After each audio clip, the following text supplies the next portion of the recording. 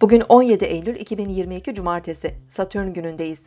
İkizler Burcu'nda ilerleyen ay, güne sosyal ve dışa dönük enerjiler veriyor. Değişik konularla ilgilenebilir, okuyabilir, kısa geziler ve seyahatler yapabiliriz. Bugün Başak Burcu'ndaki Güneş ve Balık Burcu'ndaki Neptün arasındaki karşıt açı etkinleşiyor. Oldukça duyarlı ve hassas olabileceğimiz gün genelinde huzurlu ve sakin ortamlarda da bulunmaya çalışalım. Hayal gücümüz artabilir, idealist ve vizyoner olabiliriz. Ancak gerçeklerden uzaklaşıp yanılgı ve aldanmalarla da karşılaşabiliriz.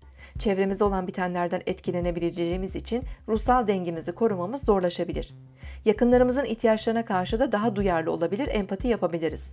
Sanatsal çalışmalar ve ruhsal faaliyetlerden de daha fazla verim almamız mümkün. İkizler Burcu'nda ilerleyen ay, öğle saatlerinde Kova Burcu'ndaki Satürn'e üçgen görünüm yapacak günlük iş ve sorumluluklarımızla daha kararlı bir şekilde ilgilenebilir, otorite figürleriyle destekleyici ilişkiler kurabilir, işimize yarayacak bilgiler alabiliriz. Eğitim, iletişim, bilim, teknoloji ve toplumsal alanlardaki çalışmalar verimli ilerleyebilir. Gece saatlerinde Ay, Güneş ve Neptün'le dik açı yapacak ve son dördün fazına ulaşacak. Ruhsal derinleşme, tefekkürle önemli farkındalıklar kazanabiliriz. Bu saatlerde bedensel ve ruhsal daha hassas ve kırılgan olmamız mümkün sinir ve sindirim sistemimize de dikkat etmekte fayda var.